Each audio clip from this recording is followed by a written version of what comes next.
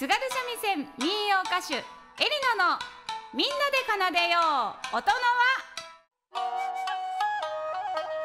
さあ番組のオープニングからお伝えしておりましたが加藤エリナちゃん応援コーナー今日はエリナちゃんスタジオ生出演です。ベリナおはよう。おはようございます よろしくお願いしまはいよろしくお願いします。すいやいやいや朝早くから来てくれてありがとう。ね楽しみにしてきました。お早起き頑張りました。朝起きたよって言って LINE くれたもんね。そうそうそう起きたよ確認。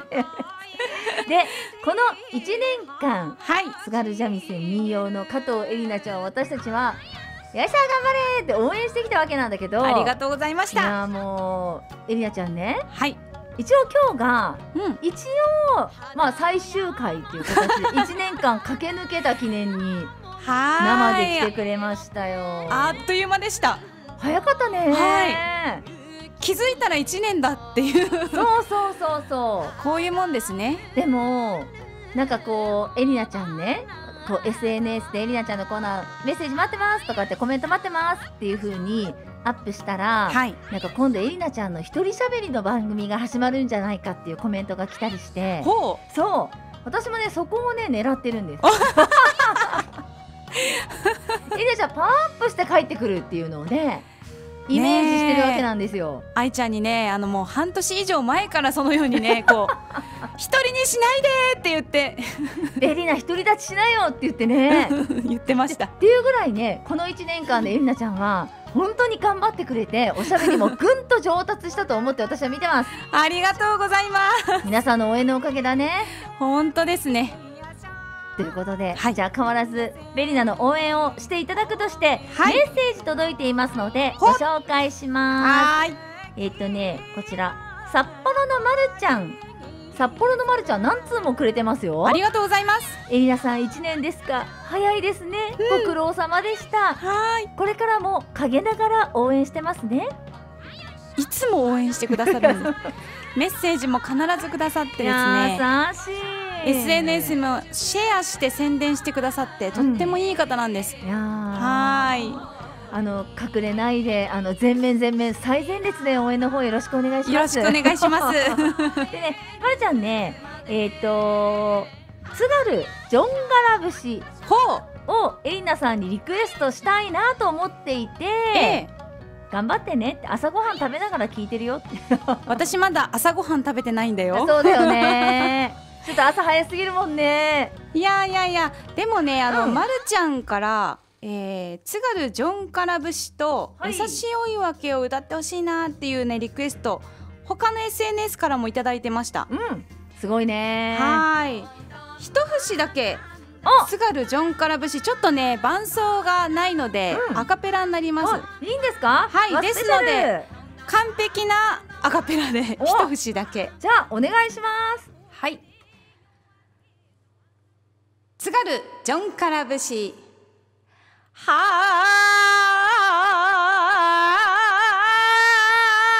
ーい。お国自慢のジョンカラ節よはい。ありがとうございました。ちょっと一瞬ねこのドンパン節が頭から抜けなくて、ね、どんな曲だったかな。ちょっと戸惑った。私あの「はー」だけで終わったらどうしようかなと。らいいんだろうって身構えたわドンパン節抜けない頭から。いや。愛ちゃん早く消してって思った もう早々に消さないともうついスイッチ切り替わらないっていだってうねまだ朝の7時半でしょ そうなの。よく朝もこんな早く来てこんないきなりバーって喋れるねベリナね。歌えるかなと思ったけど。バッチリバッチリ、はい。ありがとうございます。この一瞬の間ががびっくりしてくれたと思いますけど、ええもう大丈夫大丈夫。でこちら夢見るうさぎさんからのメッセージ紹介していい？はい今日最後なんですね、はい。い、や最後じゃないよ。きっと帰ってきてくれる。私は出勤時間の関係で7時30分には会社に着くのではい。開始直あと直後の部分しか聞けませんでしたが今まで。今日はリスラジで朝礼直前まで聞いていますよろしく。お願いします。加藤さんの歌は何度か聞いていますが昨年の馬車バーが一番良かったです。わあありがとうございます。なんといっても目の前で歌ってくれたので独占した気分でした十勝馬歌のようなじっくり聴き込む歌も好きですが、うん。ドンパン節花笠音頭のように一緒に手拍子で盛り上がる方がより好きなんですよ、うん。YouTube の十勝馬歌は映像も含めて最高です。また機会があれば聞きに行きますね。嬉しい。ねえ。ありがとうございます。ありがとうございます。もうなんかベリナのマネージャー状態で、いやー、朝です、ありがとうございますみたいな。またご案内しますんでって本当言いたくなっちゃうわ。いや馬車バーでね演奏させていただいたのも本当に皆さんと身近なこう近距離での演奏だったので、うん。鼻の穴も見えてしまうぐらい近い この距離感で歌わせていただきましたの面で、ね、白い。はい忘れられないあの去年の夏でしたね。そうね。でもはいまたなんかそういう機会があったら、ね馬車バーとベリナのジョイントって最高よね。ねそして馬の歌を歌うっていうねあでもあの歪めの音にさ引っ張られたりしないの？それはしなかったあどどんぱん節には引っ張られたけど 歪めには引っ張られませんでした。そうなのね。あら失礼しました。はいでこちらはいえっとアコさんから。はいエリナさん、花笠温度聞きたいな。今年も佐藤正宏さんが帯広に来たらお願いします。また会おうね。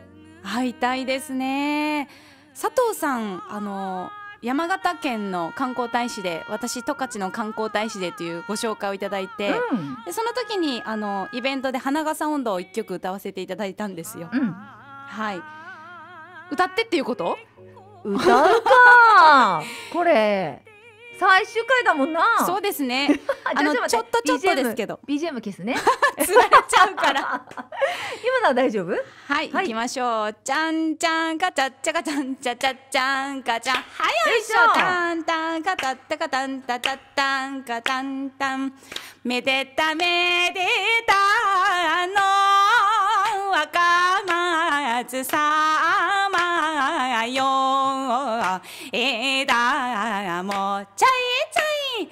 栄えて葉も茂るはやっしょまっかしょという曲でございますありがとうございまはーいあこさんありがとうございますす。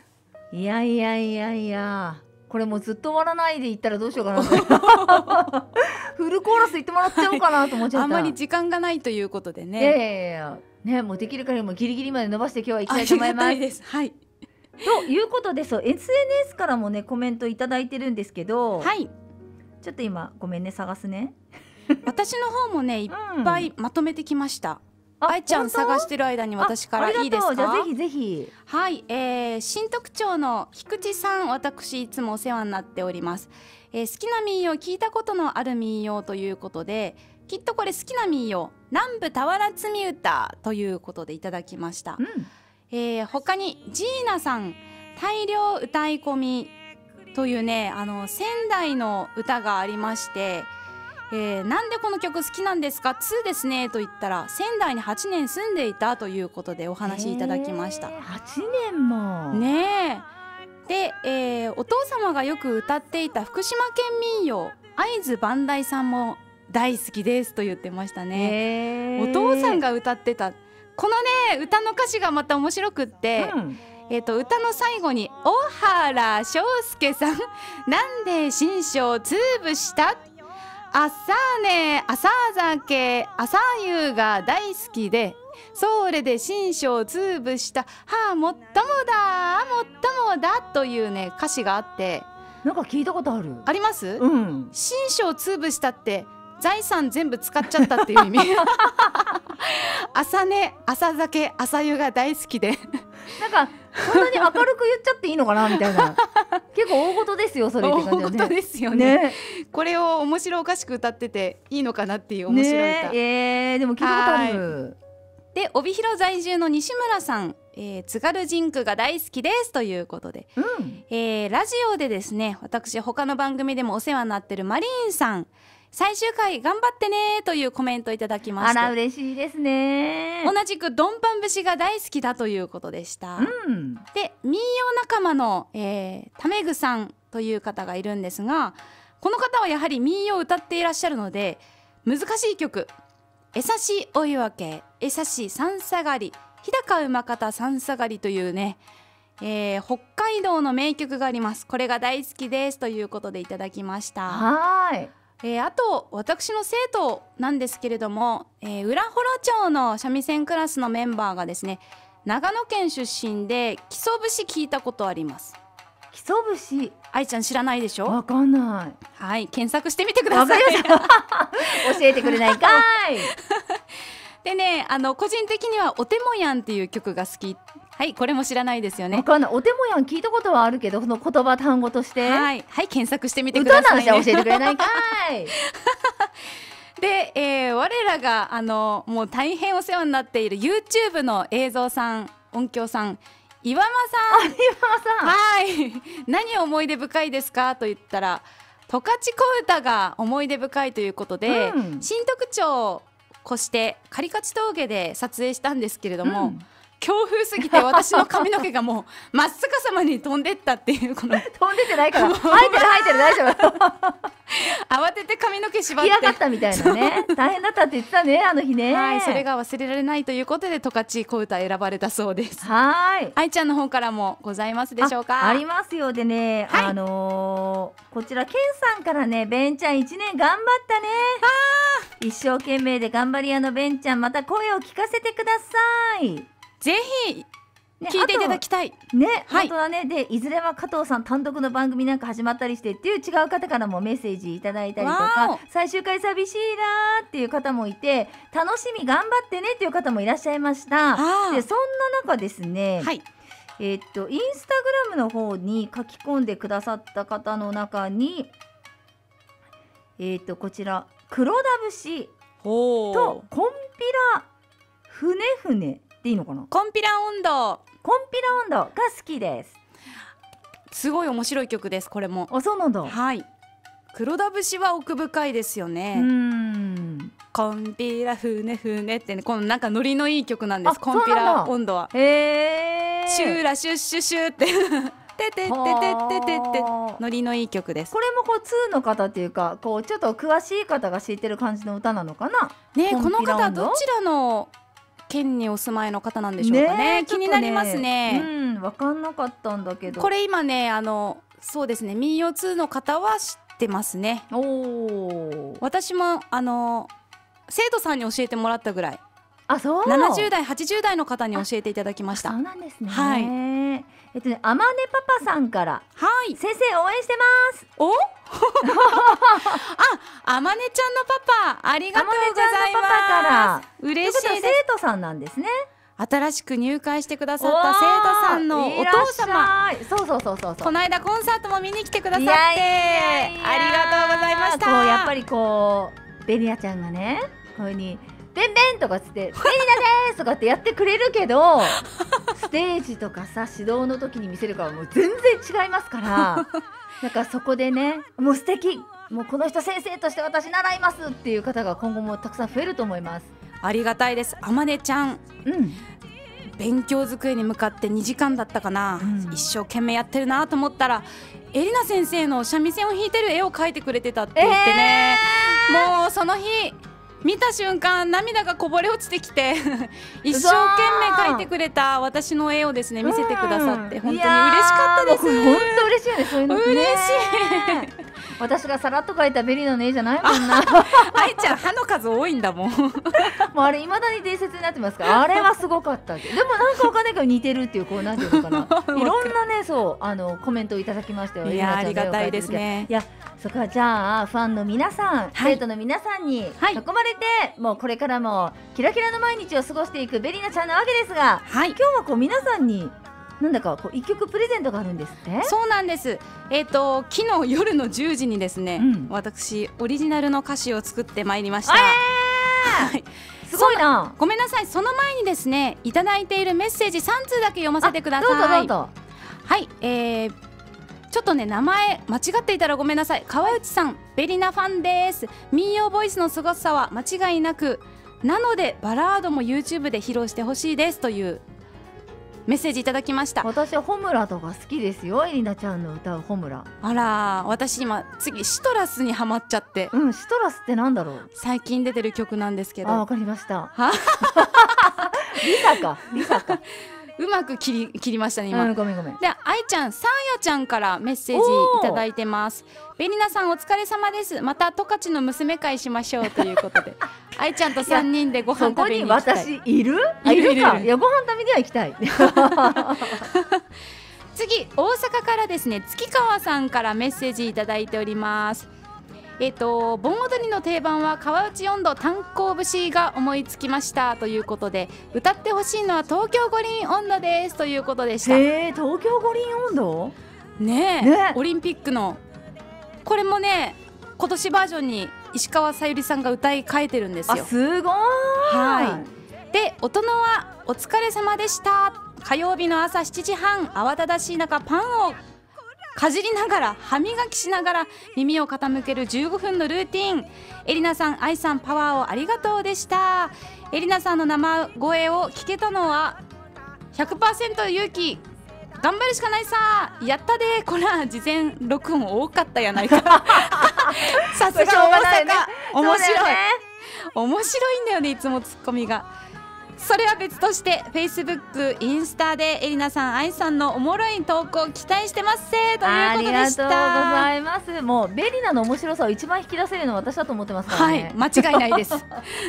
ごめんちょっともう一通だけ、はい。オリーブさんから、はい。ベリナ城のコーナーラストで寂しいです。あありがとうございます。祖母が民謡やってたのでどれもこれも耳なじみが良くていまだに祖母は口ずさんでいます。昔のようなパンチはなくなりましたけどうん。透明感たっぷりなエリナさんのますますのご活躍祈ってます。ありがとうございます。ねえおばあちゃまの生歌そばで聴けるって本当に嬉しいことですよね。幸せなことよ。いやー本当に改めてコロナで皆さんに会えなくなって、うん。そういう生歌で近くに歌ってくれる人がいるっていうことがありがたいなって感じます。はい。はいということでで。じゃあエリナちゃんからねちょっと一曲プレゼントがあるっていうところではい。いいのかな？じゃあ歌っていただいて。このねうん。歌詞にね込めた思いはねはい。はい。よく聞いててほしいんです。わかりました。朝のラジオを皆さんがどんな風に聞いていたか想像しながら作りました。ありがとう、すごいね。じゃあ作りました。いいですか？はい。どんどんぱん節の替え歌です。いきます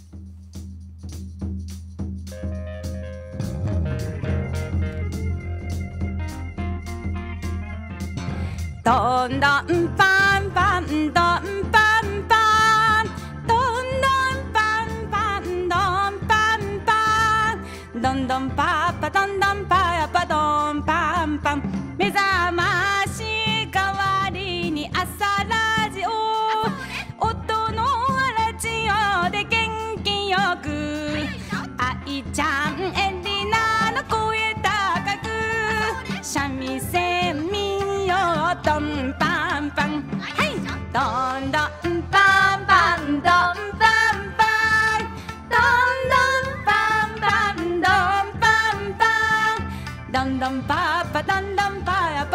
ぱどんぱんぱんみんなとつながる。朝ラジオ。朝食身支度お仕事へ。音のわラジオで元気よく。今日もニコニコどんぱんぱんはい。どんどんぱんぱんどんぱんぱん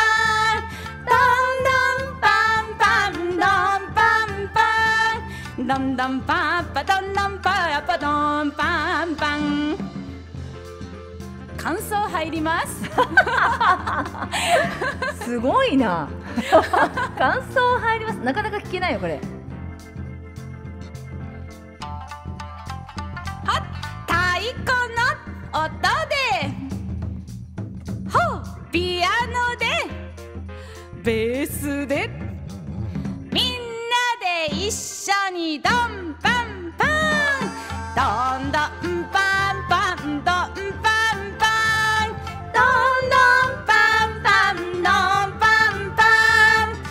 どんパパどんどんパパどんパンパン。今後も皆様よろしくね。変わらずはノート広めます。べんべんべりなと元気よく。笑顔で過ごそう。どんパンパン。はい。どんどんパン。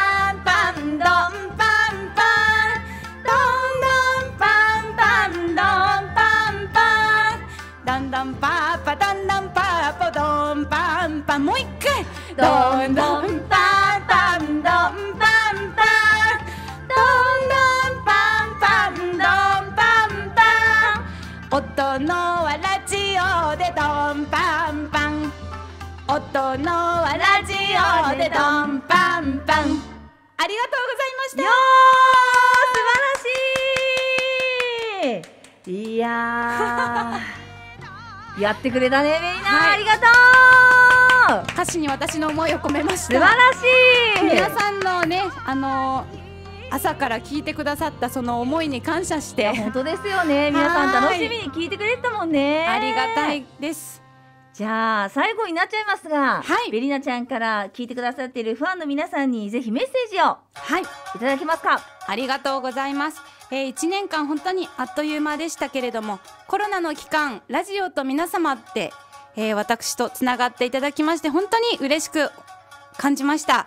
メッセージが何よりも私の、えー嬉しい時間になりましてですね皆さんと会話できたこと本当に感謝しております。えー引き続き愛ちゃんのラジオで元気をもらいながら私もですね 和の音広め続けていきたいと思いますので今後とも5000円よろしくお願いいたします。ありがとうございました。あということでやっぱりラストは躍進。はい。私のオリジナルソング躍進でお聴きください。はい。はい。ということでこれからのますますのご活躍、はい。祈っております。ありがとうございます。そしてまたパワーアップして帰ってきてください。ありがとうございます。加藤えりなちゃんでしたベンベン